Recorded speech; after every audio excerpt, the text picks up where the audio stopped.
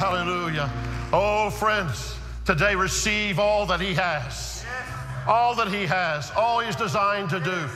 There's no reason for anybody to walk out of here in bondage today. There's no reason for anybody to walk from this place today without being free. Because he that the Son sets free is free indeed. Hallelujah. Hallelujah. And so, Lord, I thank you for the power of your Spirit that gives life. And I pray today, Lord, that the breakthroughs that are happening right now in this room will not be just for a moment, but Lord, we will walk in that victory. We will walk in that provision. We will be people of breakthrough because we refuse to accept anything less than total breakthrough in every circumstance and situation. Lord, as we look to your word today, let it transform us, let it change us. Continue working in us to will and to do of your good pleasure, I pray, in Jesus' name. And all of God's people said, Amen. Amen. You can be seated if you're able. This morning, we continue in the Word today as we have been visiting with the seven churches of Revelation.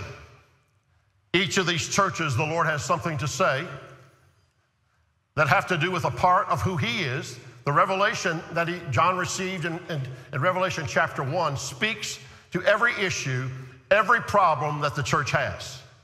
Aren't you grateful Jesus is enough for whatever you face? That Jesus is enough for every situation, every circumstance, and we see the vision of who He is coming to bear upon every church that we're looking at together today. Revelation chapter 3. Today, the church at Sardis. Church at Sardis. Until the angel of the church in Sardis write, These things says he who has the seven spirits of God and the seven stars. I know your works, that you have a name, that you are alive, but you are dead. Be watchful and strengthen the things which remain that are ready to die, for I have not found your works perfect before Lord God. Remember, therefore, how you have received and heard. Hold fast and repent. Therefore, if you will not watch, I will come upon you as a thief, and you will not know what hour I come upon you. You have a few names, even in Sardis, who have not defiled their garments, and they shall walk with me in white, for they are worthy. He who overcomes shall be clothed in white garments, and I will not blot out his name from the book of life, but I will confess his name before my Father and before his angels. He who has an ear, let him hear what the Spirit says to the churches. When you read about the church at Sardis, as a minister of the gospel, it brings me to, to these challenges of how I communicate to you on a Sunday morning just like this. Because the Lord is very emphatic in saying, I'm drawing a straight line here of something that needs to be dealt with. You have a name that you live, but you're dead. And then he says, strengthen those things that remain. And so it's a very strong word, it's a very pointed word. Yet, as a minister of the gospel, I, I have the need to say that, that I'm grateful that the Lord is also a God who is gracious and loving and tender. And the Father who calls us to righteousness and purity and perfection is also the one who tenderly will come to us because he loves us, because his desire is for our good. His desire is for our, our, our ability to live life to its fullest in his divine plans and purposes. And so he comes with a heart of love and a heart of grace to us as he brings to bear upon a church like Sardis these emphatic words. I'm grateful for the passage in the Psalms where it says every other verse, for his mercy endures forever. For his mercy endures forever. You know, God doesn't have to say the same thing twice. So if he says it more than once, he's trying to get through something to us. In the face of everything he's saying, his mercy, his grace is being spread abroad, even in the church of Sardis, when they're receiving such a strong, strong word. And I can't imagine Jesus saying, other than his desire to love us and to care for us. There's a statement here that's very controversial, but that's never stopped me from preaching about it. He says, He that overcomes shall be clothed in white raiment, and I will not blot his name out of the book of life. Let me hasten to say, we believe in the grace of God. We believe that you can't lose your salvation in a moment's time or, or by, by a mistake that you made, because everybody has made a mistake.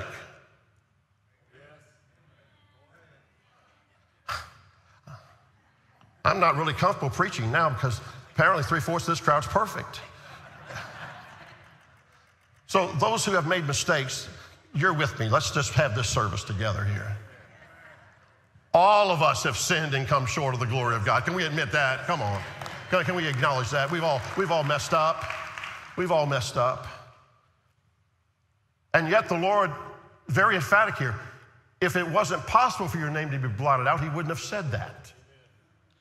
Here's the tragedy of that of a doctrine that says, you know what, if 40 years ago you walked down the aisle, joined a church, and, and prayed a sinner's prayer, that you're safe. Even though your entire life has been lived outside of God, outside of His plan, His purpose, and everything about that. And I'm afraid there are many, many people who are deceived this morning that one day, 30 years ago, they walked down front and made a confession of faith, but their life has never reflected that confession. I know the, I, I just knew the amens were going to drown me out in this one. So the truth will set you free. My concern is not for those of us who are walking with God and mess up, because uh, we, we've all done that. And God's grace is sufficient. Amen? Amen? God's grace covers us. But there is something here where the Lord says, you, You've professed my name, and you've, never, you've not walked with me. If, you're, if you'll be an overcomer, your name will not be blotted out of the book of life because that book is the most important book in the world. Yes. I said, that book is the most important book in the world. Because when, when you open your heart to Jesus, as people did even this, in the service this morning already, your name is written in that book. You see, the only thing I got going for me is my name's in the book. Everything else is up for discussion. But my name's in that book. And when we talked about uh, last year, when whenever I stand before the, for the Lord and He looks at the record of my life, Ronald Frank McManus, born New Orleans, Louisiana, age unknown. when, when he starts down the list of all the mistakes Ron's made, son will tap him on the shoulder and say, Father, let's see if his name is in another book. It's called the Lamb's Book of Life. And the father will open the book. Ronald Frank McManus saved on a Sunday night in 19. Blah, blah, blah, And the Father will say, because your name is in that book. This book doesn't matter. This book doesn't matter. So it's a big deal. This is a big deal. The Lord says to those that overcome, their name will never be blotted out of that book. And so everything that the Lord is talking about to the church at Sardis is so important here because there, there are two things that, that are the theme of this record of the church in Sardis. First of all, it's about life, which is opposed to death. Secondly, it's about a name. Four times here the name, the word name occurs. Look at verse one. Thou hast a name that thou livest and are dead. There are few names in Sardis who have not defiled their garments. He that overcometh, thou shalt not blot his name out of the book of life, but I will confess his name before my Father. Four times. And he keeps talking about the matter of life and death. He keeps talking about that. You have a name that you live, but you're dead. Everything focuses on the name and on life. And so the church at Sardis is about 60 years old. And Jesus steps into that scene and he says, about two generations now have gone. Here's the tragedy. Here's what history tells us about church denominations and groups. Second generation, things kind of deteriorate a little more. Third generation, even more. It takes you usually three or four generations for them to forget where they came from. And the result is they keep functioning. All the things keep going on in the church, but they don't even realize they've lost the most important thing, and that's the life of Jesus in that church.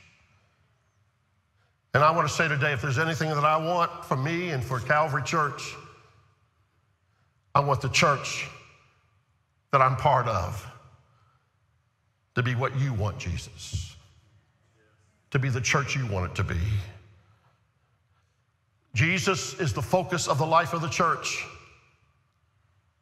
He's saying these things to them, those things that remain in you, strengthen those things. And I want you to notice these things to begin with in verse 1. These things saith he that has the seven spirits of God and the seven stars. The seven spirits of God, talking about the full complement of the operation of the Holy Spirit in the church that will manifest through Jesus. Everything of the Holy Spirit is going to come through the person of the Lord Jesus Christ. The Holy Spirit is only interested in glorifying Jesus. How do you know when you see manifestations? How do you know when you see all kind of things happening in, uh, in church services and church meetings? How do you know if this is the real deal? I'll tell you if you know it's the real deal because when everything is said and done, man is not exalted, man is not glorified. If it's the Holy Spirit, Jesus is always glorified, Jesus is always exalted. Anything that brings glory to man is not the Holy Spirit. The Holy Spirit exalts Jesus. The full complement of God's Spirit flows through those of us who know Jesus, who walk with Him. And that's where the life of the church is. Without the Holy Spirit, there is no life in the church. Without the Holy Spirit, there is no life in the church.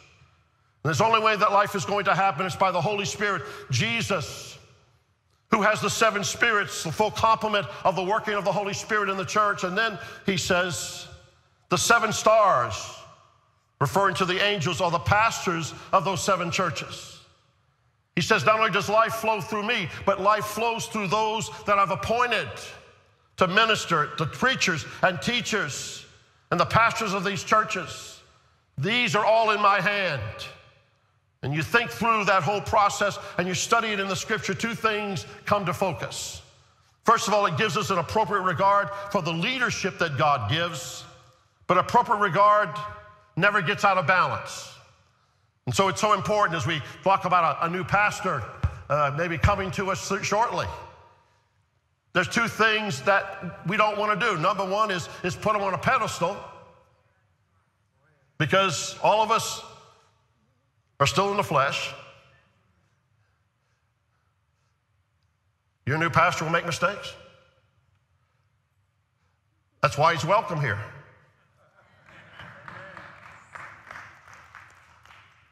Uh, I don't know of a pastor that, that could function in a perfect church because there are none. See, because we, because we all have warts. We're all still in process, and we can accept others who have warts too. So, on one hand, we don't put leadership on a pedestal, we, we acknowledge them, and we submit our lives to their spiritual leadership because that's what the Holy Spirit calls us to do. But secondly, we don't chew on them about everything we don't like. Mm-mm, I felt anointed when I said that. we don't chew on them with every little thing we don't like because that's going to be the case in whoever it is. Some people would not be satisfied with Jesus pastoring our church. So God helps somebody who's flawed trying to do it. We don't put them on a pedestal, nor do we disregard them and fail to realize that they have been called by God and we're to submit our lives to spiritual leadership in our lives. It's amazing how, how that spirit of rebellion is so contagious in our society right now. And unfortunately, even Christians. You know, I mean, out here on Interstate 40, I mean, I mean, people get shot because they cut in front of somebody. I mean, that's, there's just so much anger running under the surface. Have you noticed that? There's so much anger running under the surface. I think coming out of COVID just made it worse. And, and there's so much of that. And you know, uh, we find that in church as well sometimes, you know. Uh, I remember back in the day when, when uh, our church was growing very, very rapidly, we had three morning services in a room that would seat about 400 people, and, and it was jammed. And so, what we were having to do to get everybody in, we were having people to come in and file in row after row after row after row. You know what I'm about to tell you. There were some people saying, You ain't gonna tell me where to sit. Really? Well, where's that spirit from? We're just asking you to help us. Huh. See, I knew it was gonna get quiet. Nobody gonna tell me what to do. Where's that spirit from, sir? You didn't get that from the Holy Spirit. You know, in fact, uh, a pastor uh, got a, a, an email from a dear lady who had, she, she had visited uh, this church, a very, very large church. She visited three times. And she wrote the email to the pastor, and here's what she said I've attended your church three times. Every time I've come, I was told I was sitting in the wrong seat. I won't be back. You know, that's not the problem here at Calvary, but we do have churches where Sister Sadie has her cushion in that spot. God help anybody who sits in her spot, you know. And it's, so important that we learn how to be flexible, huh?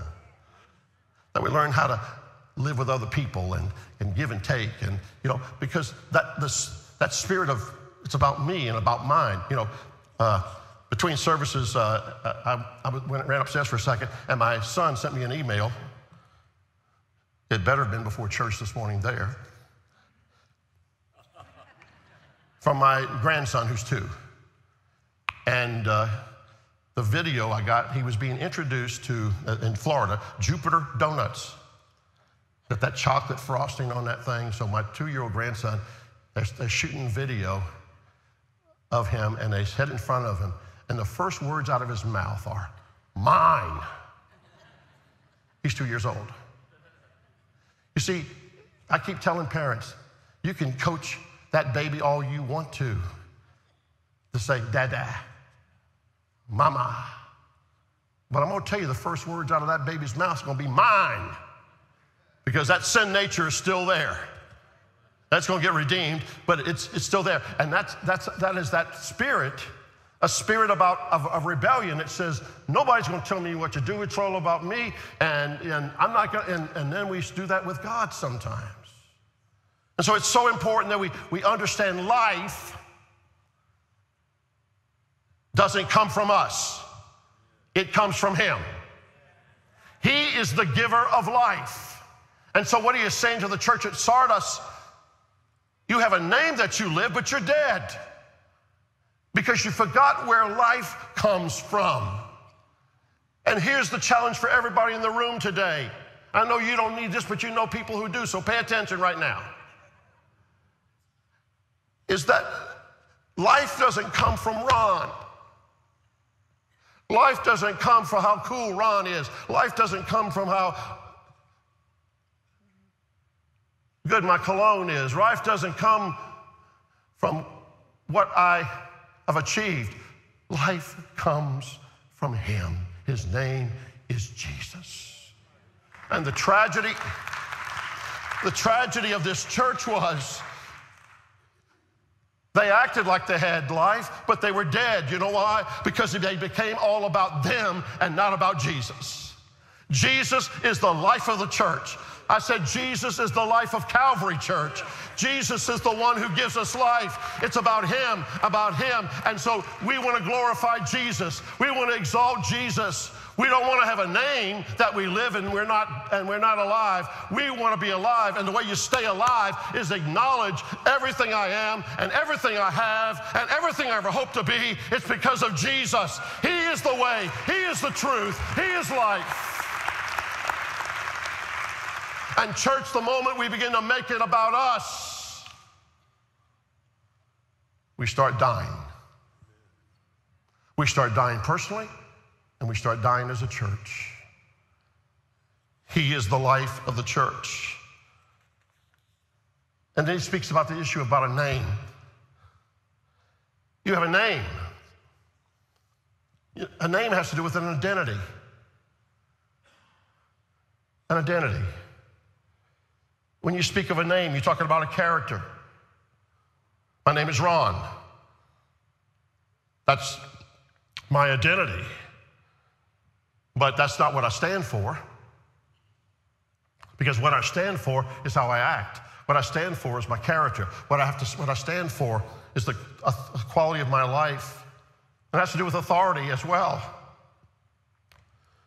That's why in any role that we have, our job is to submit to whatever authorities God puts in our lives. I remember many, many years ago being in a situation in a church where I was serving on a, on a staff on the West Coast. And there were some people that were trying to create division and, and problems in that church. And as a staff member, I was asked to join in. I'm grateful that I did not respond to become a part of a rebellion or a problem to somebody else in ministry. The only reason God has given me any authority today is because I refuse to usurp authority in my life. Friends, when you, you, know, all of us have, have authority in our lives that we don't like everything they do, we don't like everything they say, you know, and the case is true for me. But my job at that point was to submit to the authority God had put in my life. And I'm going to tell you, when you do that, God will always protect you. I said, God will always protect you because you do that. Submission to authority, living in authority. I have a responsibility to live in submission to authority in my life. Our pastoral candidate is a person who I know already does that. Our staff are, it's important they do that. We all have authorities that God puts in our lives to guard us and protect us. And God will always, always take care of us we live within the, the confines of whatever authority God's put in our life. So our name is about our identity. It's about our integrity. And it's about our authority. And it's about a quality of life. All of that's in a name. It's the reputation your reputation. And the word that Jesus used here, verse 1 and 2, qualifies that dead because he says, Be watchful and strengthen the things that remain that are ready to die. They're not dead yet, but they're about to die. Strengthen those things that remain so that you can move forward. So the Lord is saying, whatever name has come to you, the name of Jesus must be applied to us. We've got to identify with him. He calls us to identify with Him, be watchful and strengthen. That watchfulness is important. Be careful that you don't let circumstances and situations and attitudes from other people influence who you are, influence who you become. Be watchful, wake up, he said to the Ephesian church. Be watchful and strengthen those things that remain. It's not all done, church. There's still so much more that I have for you, he is saying. Don't let things start to sag. Everybody in Sardis, hey, listen, strengthen those things that remain. And the Lord is trying to say, Sardis, you're at a place where you could, you could die as a church. You need to take a hold of those things that need to be strengthened in your church. Hold of those things that strengthen in your life. Because I'm not done with you. I've got plans for you. You see, to me, the, the, most wonderful, gracious thing about these seven churches is that the Lord continues to speak to them. The Lord continues to shape them up, He continues to talk to them. Listen, if God leaves you alone, you better be careful. As long as God's still messing with you, there's hope for you. I'm glad God's still messing with me. I mean, He's messing with me every week. He's smacking me around every week. Ron, why you do that? Why did you do that? Why, why'd you say that? You know, I, I told you about an uh, incident, and I had another one just the, the last week. I got a report of something in the business we're part of. Uh, it just ticked me off. Other than that, I was in good shape. But it just, it just really irritated the fool out of me. And I looked up a phone number of who was in charge, of who's in charge, of who's in charge at the state of North Carolina. I had some things to say. How many have been there? And as I'm ready to, I've looked up the number now of the supervisor who's over the people that, that have ticked me off. And I'm about to make that call. I mean, I'm, I'm punching the numbers in, and the Holy Spirit said, Uh huh, go right ahead. You want to screw this up even more? Go ahead and make that call, son. Because I'm not sure I can get you out of this mess if you let your flesh control it.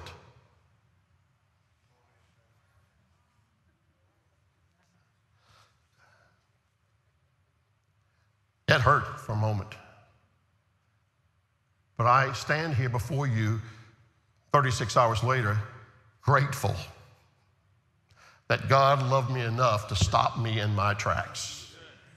I said that God loved me enough to keep me from messing up stuff, even worse. Hallelujah, yeah. Even worse. Life is the opposite of death, and I was about to pour a lot of death into somebody's life. It sure wasn't life. And here's what the Lord says Church, I've got plans for you. I said this months ago. I want to reiterate it today on the verge of a pastoral candidate coming in two weeks. God has plans for each of us, and God has plans for this church that are far beyond anything you understand at this moment. And I come in these moments as we go through these churches, first of all, to say, God, what do you need to say to Ron?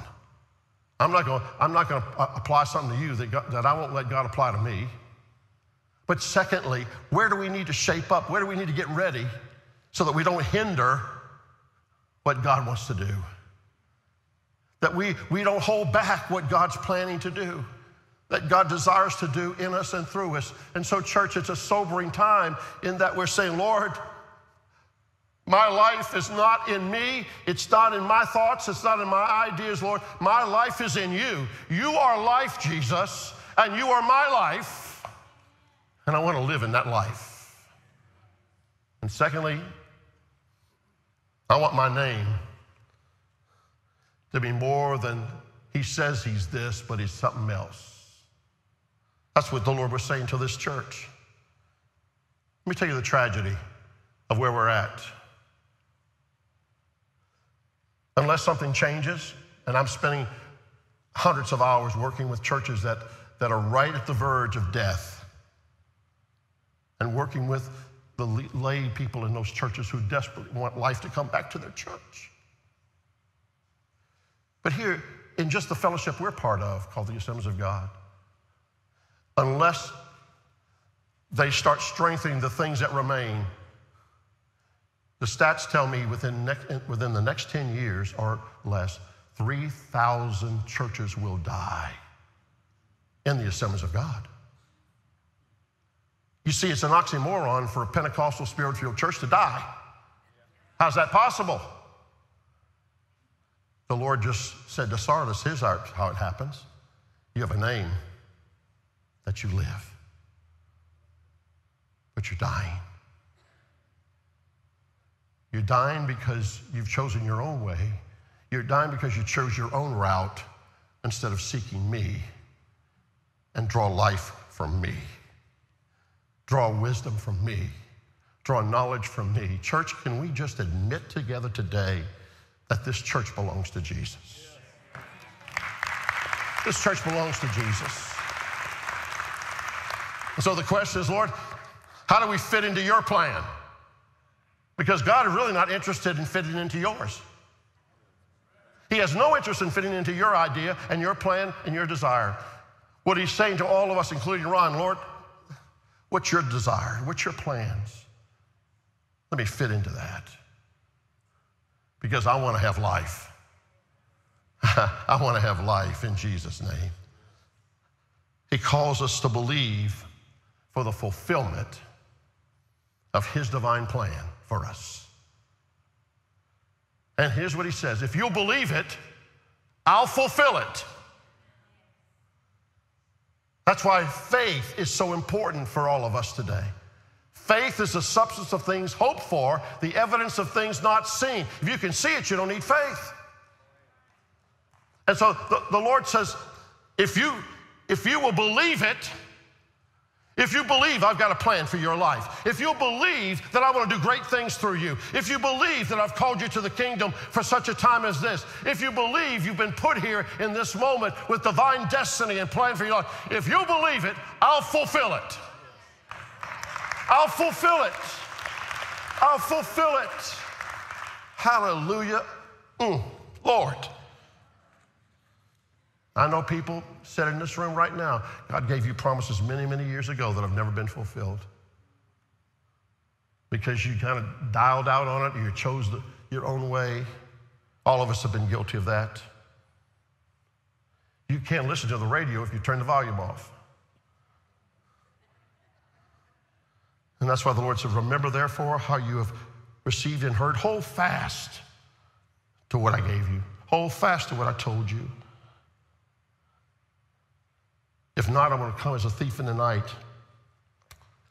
Remember when Samson faced the enemies of God and he was so powerful and triumphant. And yet, when the enemies came against him, he had so messed up and tried to do things on his own. Here's what the Bible says about him. And he wished not that the Spirit of the Lord had departed from him. Jesus said, Remember and watch. Keep giving attention to those things that are crucial in your life, and I'll take care of everything else. I don't know about you, but I want a name that matters.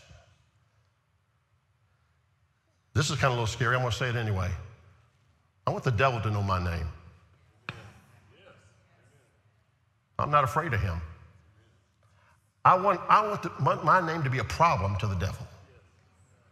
I want my name to be on his hit list because I know greater is he that's in me than he that's in this world.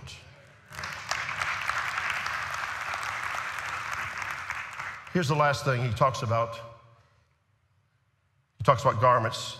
They that walk with me in white, for they are worthy. The pure garments, spotless garments. And somehow we've had this belief system of, of, days gone by that, you know, when this, this whiteness and this purity and, and all these things, that, you know, white garments means that, that you don't want to get tainted by the world out there, you know, because you got a white garment on. You know, you don't want to get messy with all the stuff that's out there in Greensboro that's just horrible. Because you got a white garment on. Let me just tell you what that white garment means. It doesn't mean you shy away from the world. It doesn't mean that you hide out somewhere so that nobody messes with you. It means because you have that white garment, you can do what Jesus did. You can walk in with, to leprous people and they're healed. You can walk in and touch the blind and eyes open. You can walk into the gutters of Greensboro and bring the life of Jesus there. You, stop worrying about getting tainted, brothers and sisters. It's time to get dirty for Jesus. It's time. It's time for us to, to get out where the needs are, where the hurting are, where the broken are. Because God's plan for this great church is that they come from every part of Greensboro. They come from every dimension of Greensboro. And they may not even look like us or act like us, but they're men and women who desperately need Jesus and we're going to be a lighthouse to this city. We're going to be a lighthouse to this city. And, and, and our garments don't get tainted by doing what Jesus did. What did Jesus do? He hung out with publicans and sinners. In fact, the religious people kind of kind of did him in. Well, you, you know, you hang out with all those sinners. And Jesus said, Absolutely, Jazz. I am so guilty. I want us to be guilty of that too. White garments of white, which means we are covered by the blood of Jesus.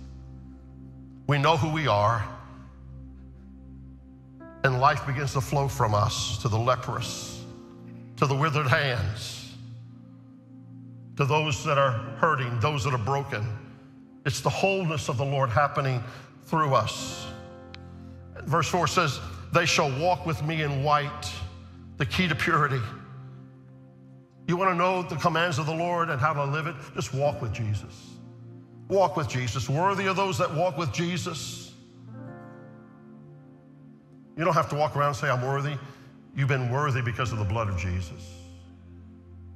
And we walk into the hellholes of Greensboro with the blood of Jesus, with the kingdom of God,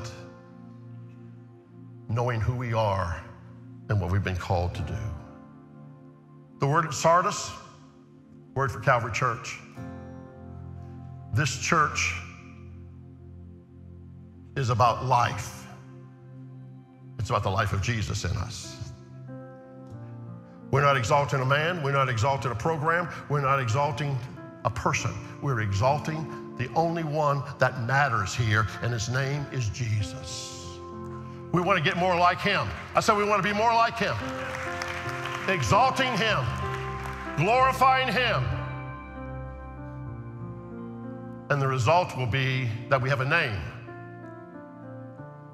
Not a name that says we live and we're dead, but a name that says his life is in us. And so we can become people of integrity, people of authority, people of quality. Because it's not about us, it's about Him in us. And so the challenge today and the opportunity today is to say, Jesus, let your life flow through Calvary Church like never before. And that life flows to us through the power of the Holy Spirit. Holy Spirit, you're welcome in this place. Holy Spirit, you're welcome in this place. You're welcome here. Take control of everything here. Do we have any takers today? I, I just, Holy Spirit, just do that in Ron today. Life in Jesus' name. Lord, I pray today that you would just take that word and let it find its place in our hearts today.